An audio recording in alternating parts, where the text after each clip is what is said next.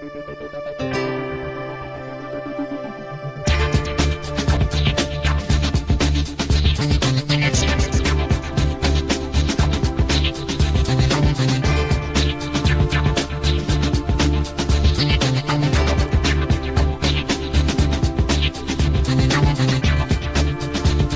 from San Francisco, it's theCUBE.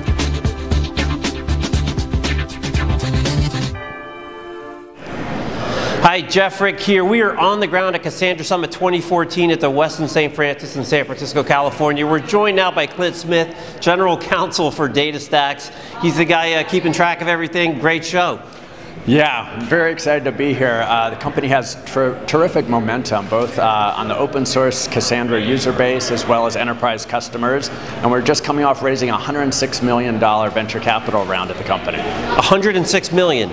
Yeah, it's a real war chest uh, to, to, fund our continued growth of the database platform and also opens up a lot of possibilities. Uh, one is we've made an investment in a community member, uh, Instaclustr, does uh, hosted Cassandra, team out of Australia. That's the type of thing you can do when you have a war chest like we have now.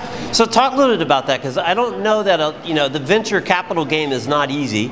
Um, you know, making investments in companies, you know, a lot of them don't pan out, which is why those guys make a lot of money.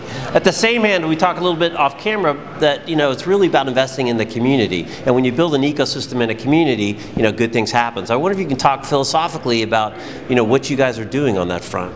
Yeah, as an infrastructure software player, the ecosystem is fundamental to your success. Uh, I was at MySQL and uh, we saw companies in our ecosystem like Splunk uh, become $5 billion companies today. And I remember when Splunk was five guys from Seattle with black t-shirts in our MySQL exhibit hall. So, so really to be a great infrastructure software company, you need a vibrant, dynamic uh, ecosystem. And there are a lot of ways we contribute to that ecosystem. Great code, great partnerships, and then in some cases we'll make a small investment.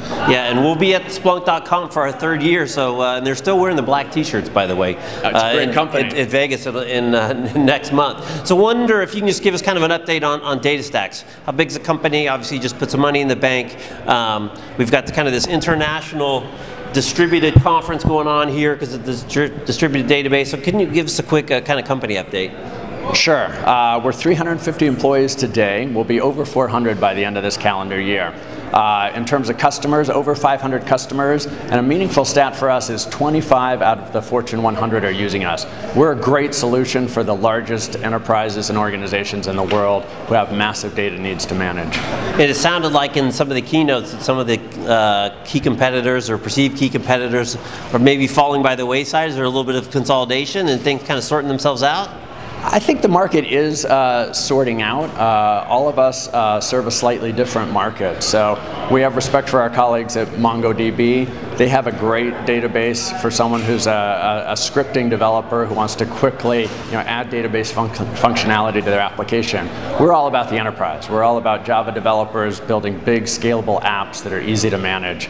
Uh, we're focused you know, really on large organizations and the enterprise, and that's very different from MongoDB. Yeah, great stuff. Well, Clint, thanks for stopping by. We just grabbed them out of the hall. That's what we like to do. Uh, I'm Jeff Frick. We're on the ground at Cassandra Summit 2014. We'll be right back with our next guest after this short break.